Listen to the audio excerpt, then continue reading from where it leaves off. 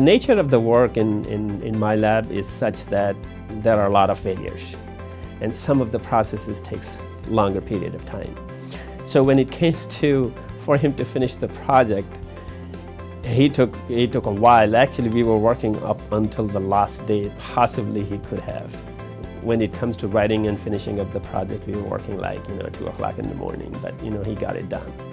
So, and then during this time, he introduced to me, hey, Dr. Ahmad, I'm, you know, I'm thinking of leaving Vela and coming to, to UTRGV. And we talked about it. I said, I need some, some of your advice. And the way that he told me in terms of what UTRGV has to offer and what his long-term plannings are. And I said, you have a golden opportunity, man. We had seminars.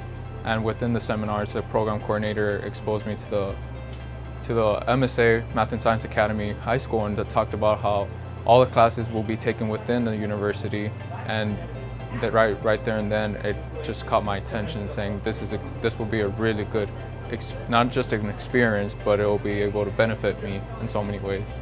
In the long run I believe that this program is going to benefit me so much more because I'll be graduating as a senior with 78 college hours which was is close to being junior classified by two hours.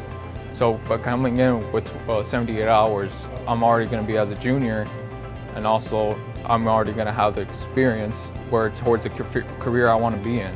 So when I'm, uh, I'm already at, uh, way above what I expected to be. So I'm just going to need a little bit to get into the career I want to be, which is pharmacy. So I won't need that many years as opposed to if I came in with zero hours. He makes sure that he doesn't um, compromise his, his education. I think that's still his priority. Uh, and I told him to, and I told him, look, when the students come to my laboratory to work, know that that's your secondary uh, thing. You know, your first reason that you are here at UTRGV, whether you're part of MSA or otherwise, is your coursework. Because your coursework has to be number one. At Robert Vela High School, we stayed, the regular schedule was eight classes a day 8 to 4.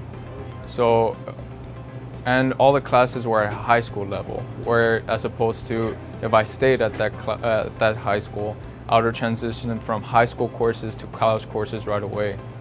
But within the, I saw, benefit, I saw the benefit of uh, transferring to MSA that right away I'll be getting the experience of a regular college schedule. That way when I have my incoming college uh, student, I, will be, I was already exposed to the experience, how to manage my schedule, just being able to get to know the experience, like you'll know how to manage your schedule as opposed to when you come in, you, you won't know what what to do.